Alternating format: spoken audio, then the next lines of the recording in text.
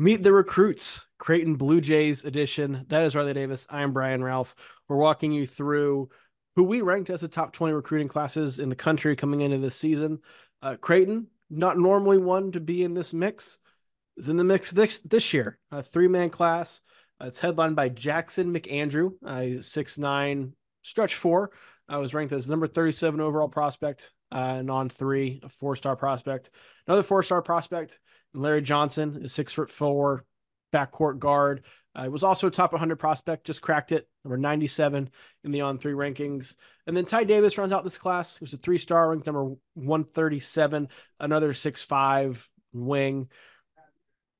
This Creighton team this season is going to be very experienced these this trio seems to lead the the bench and sort of the the next generation or the next era of Creighton basketball. Um, over, overall thoughts on this class, Riley, before we dive in.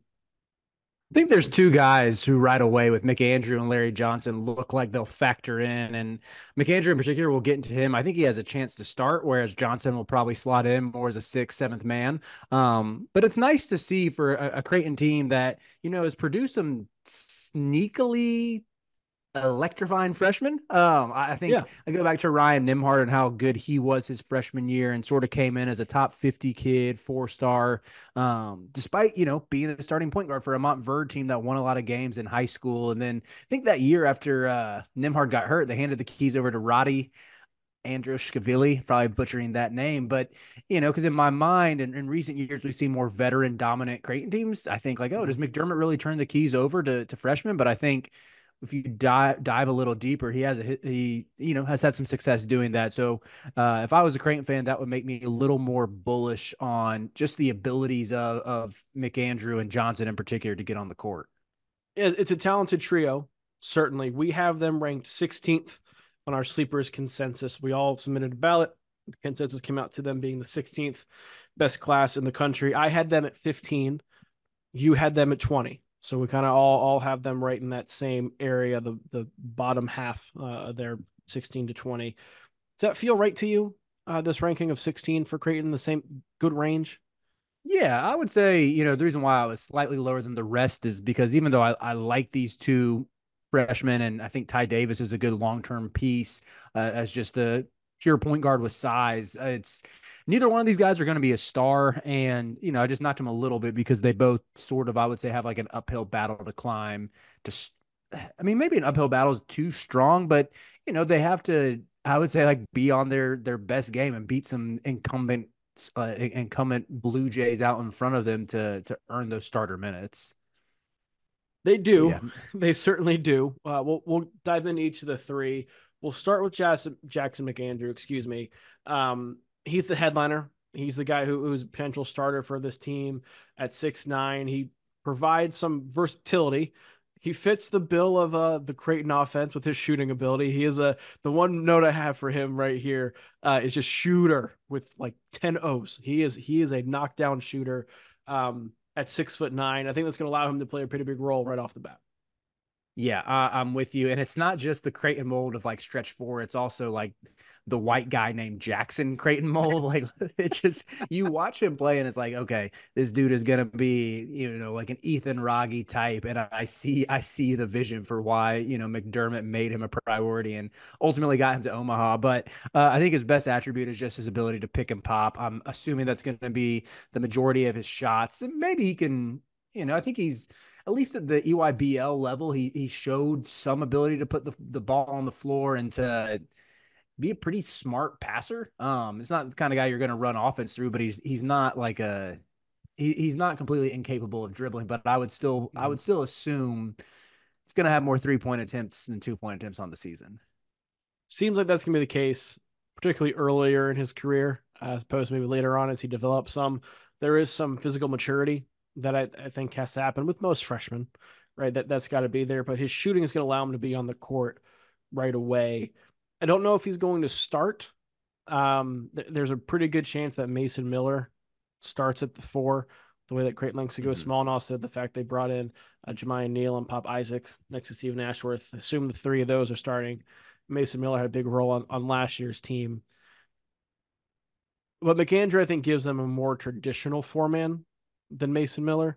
So at, at the very least, it's going to give Coach McDermott some options there, depending on again perhaps how ready McAndrew is and, and what the opponent is doing.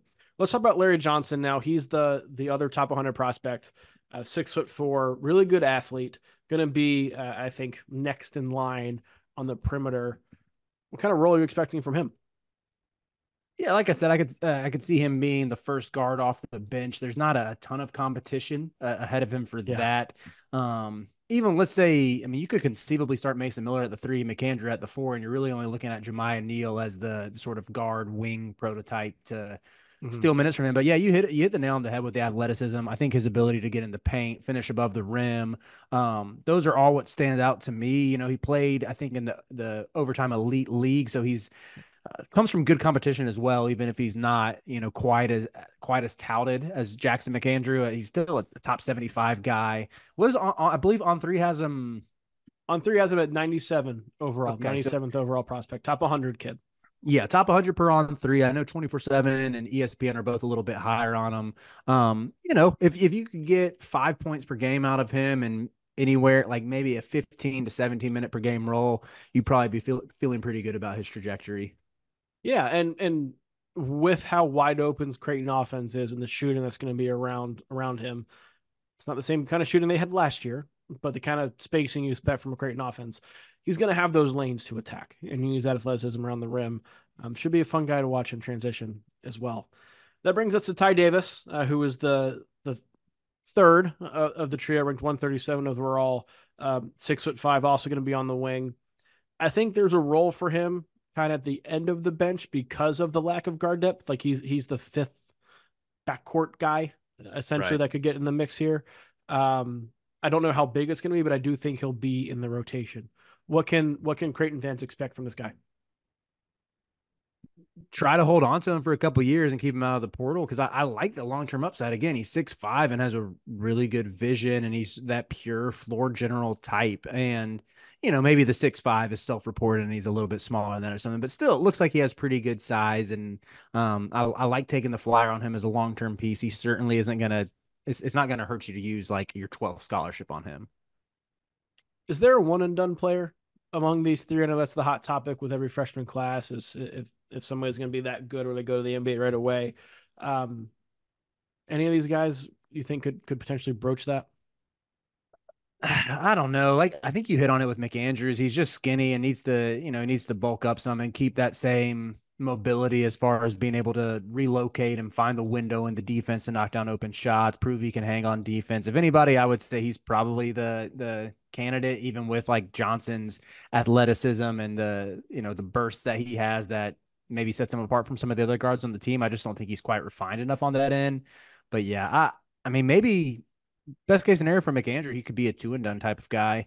Creighton's had some success with guys like that who, you know, stay two or three years and go to the league. And think of Ty-Shon Alexander, for example, as a guy who mm-hmm. sort of turned himself in a pro and into a pro in a couple years at Creighton.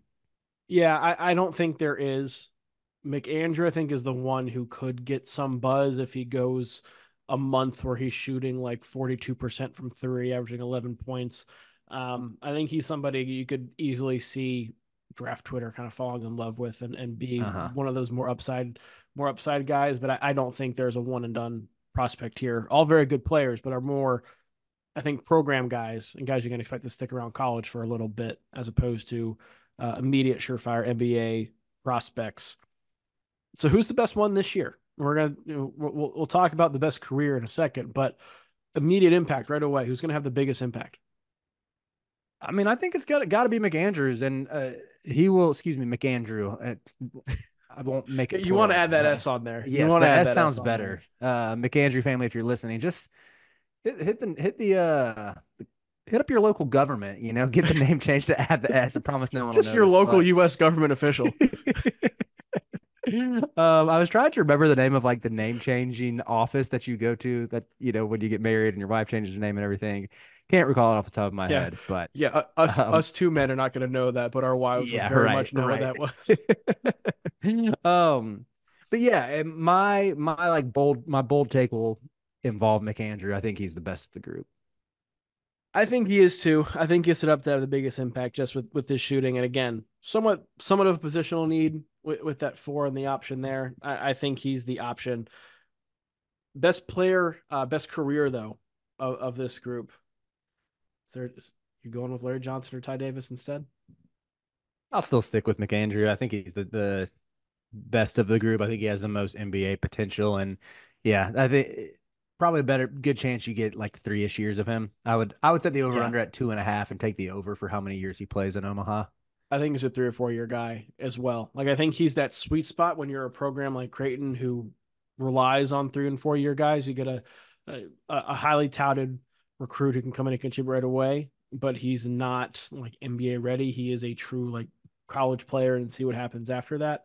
Um, hmm. McAndrew is that I expect him to be very good in Omaha for for several seasons. I expect Larry Johnson too uh, as well. Ty Davis I think will make an impact, big impact later in his career. I expect Larry Johnson have a very good career, but McAndrew to me is is the guy to build around. Certainly. This is the fun one. Who's the biggest disappointment uh, of this group? I guess I'll, I'll lean Larry Johnson just because there's a chance that he ends up being one of those those players who looks great on a mixtape because he can, you know, soar, but he never really puts it all together on the basketball court. I could see that. I went with Ty Davis just because of kind of what you mentioned before about trying to keep him out of the transfer portal. He's somebody to me who, you know, he's going to pop up in two or three years playing for some SEC team or some Big Ten team. Really? Wow. And that high like, oh, upside, huh? that's pretty good. Yeah, I, I think someone bets on the upside. Yeah, I don't know. I don't know Ty Davis personally, obviously. Um, but to, I, I don't know if he's somebody who's willing to stick around. Kids this day, you know, with the unlimited transfer rule, you don't need to stick around. You can see what's out there for you uh, as many times as you want to. With him potentially being the guy of this of these three, that is the odd man out this year. Um, it wouldn't surprise me if other programs uh, just came knocking and wanted to to gauge his interest and potentially playing elsewhere. Um, so that's why I have his biggest disappointment. I like all three of these guys though. I, I don't think there's a true like he underperformed in his college career. I don't think there's one of those guys uh, in right. these three. So if there's a biggest disappointment, I'm going to look at the the one who I think has the at the most risk of transferring out. And for me, that's Ty Davis. Either way, Creighton, you got yourselves pretty good group. You know, we, we didn't talk about any of these guys as starters because your starting five is pretty solid and locked in. If you can get two of these three to contribute in a big way off the bench this season, I think that bodes very, very well for you and your chances this year. I, can I give a bold prediction? I'll close with this. I think yes. it's going to be Mason Miller at the three and and uh, McAndrew at the four by like late late January, early February. Just with Jamiya Neal is, I mean, he's never shot above twenty nine percent from three, and you got to be able to you got to be able to shoot in a Greg, Greg McDermott offense. You know, maybe yeah. you look at Arthur Kaluma, who maintained big minutes there, and he was never a high level shooter. But on the on the perimeter, I don't know. McNeil, uh, I think Jamiya Neal's going to have to do a lot to sort of cover up um, just his, his inefficiency from downtown.